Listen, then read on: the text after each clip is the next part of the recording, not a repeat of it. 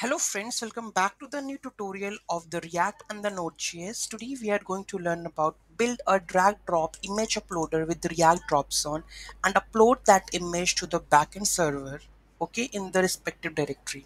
So those who haven't subscribed my channel yet, please do subscribe my channel and if you like the video, please do like, share and comment on my video. So let's get started.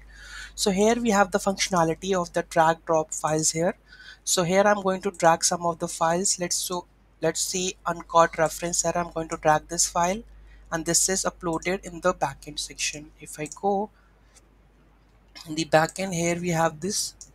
So we have uncaught error reference error right? The image is uploaded right? Okay. And we have uses the react dropzone right? So let's dive into the code level. So here we have the app.js file right? So you need to install the react dropzone and this is the package of that one and you can see that the downloads is pretty much good. So that means it's popular library then you can use it okay? The installation processes are also there right? You have to install the react dropzone then we have a system of that one. So i have made something different. So here we have the we are using the axios for the api call. Here we have the files and the set files use state by default empty. On drop so here we are accepting the file. So this is basically the multiple files upload. So i'm just using the one part okay? So then we are sending the form data in the new and append the, all the files that we have okay?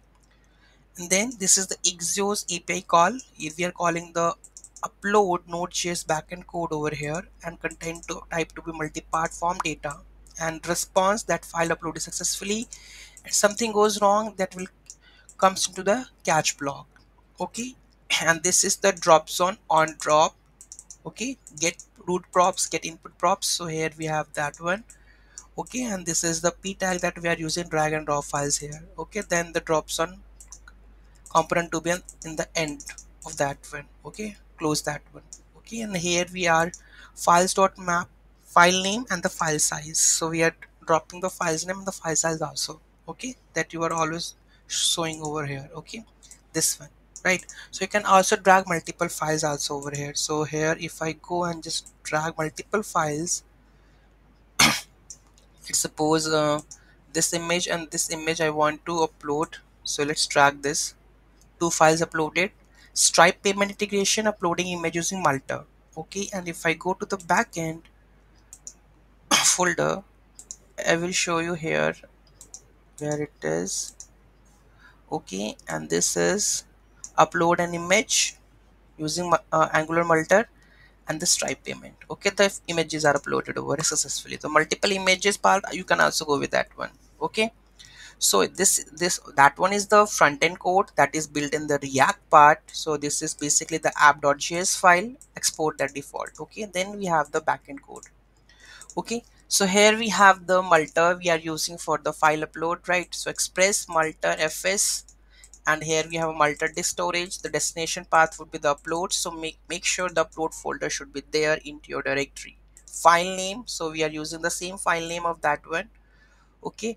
Then we have upload multer storage then this is the api app.post so it, it it accepts the array not the single. So if you mention over single it will accept one file. If you mention array then it needs multiple files to upload. Okay if the upload files is not there then means no files uploaded. Okay else we are just uh, looping that each and every files and trying to upload save that into the uploads directory with the file name. Okay else something goes wrong then we are console console dot error error renaming the file and uh, error saving the files spawn status 500 else we are showing that files uploaded successfully and here you can see that also uh, when I try to inspect that one in the network okay? So here you can also get to know about that the files upload also. I will show you. Login UI so here you can see that. So here you can see the responses request is file uploaded successfully okay?